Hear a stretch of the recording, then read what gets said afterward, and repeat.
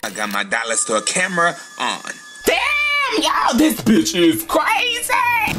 Get that stupid camera up out my face. This bitch got me videotaping this damn house, y'all. There is something in here. This house is possessed.